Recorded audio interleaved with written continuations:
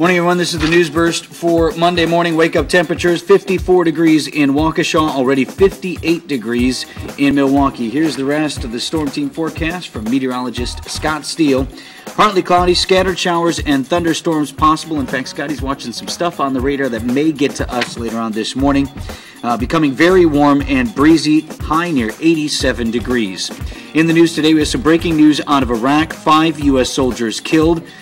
That's about all we know at this point, which is odd. At least we usually know a location, but the military is not releasing that at this point nor what type of attack uh, caused those soldiers to be killed or their names. His family is still being notified, but that'll be a story that you want to watch and stay up to date on throughout the day. For the third time in one week, Milwaukee police shot a suspect. They said it was a guy armed with a knife. He charged a police officer. The officer shot him, and that suspect is in critical condition in the hospital this morning. State Supreme Court will hear arguments on the collective bargaining law, and that's going on in Madison today. Don't expect any definitive decisions to be made by the court, but they will uh, take that next step in the process. In Europe, they think they know where the E. coli is coming from. You have this deadly E. coli outbreak, 22 people dead, thousands of people sick in a number of countries, primarily in Europe, although we do have one victim here in Milwaukee, somebody we believe is traveling over in Europe and has come home uh, sick with E. coli. They think they traced it to sprouts being grown on a farm in Germany. That's great news because once they know where it's coming from, then they can take steps to stop preventing the spread of it. But already that's done a lot of damage.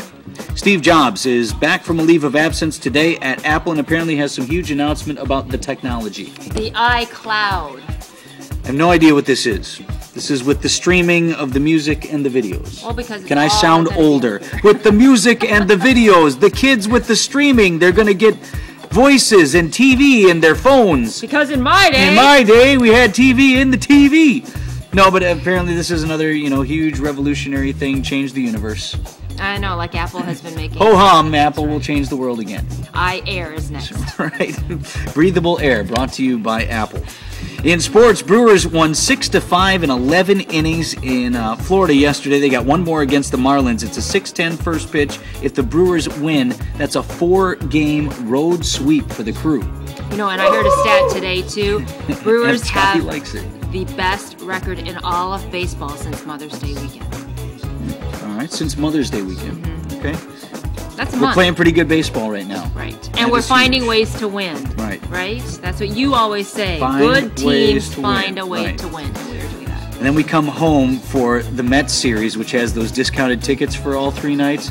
place is going to be up for grabs. It'll be full. Yesterday's game played before 32 fans. And Oh. what's wrong with those people? I know in Miami, you know, I mean, you got a lot of stuff to do, but give me a break.